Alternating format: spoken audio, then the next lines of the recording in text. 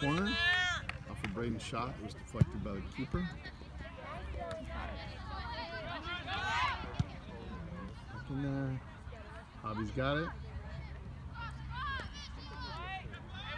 Eli. Hobby. Cross.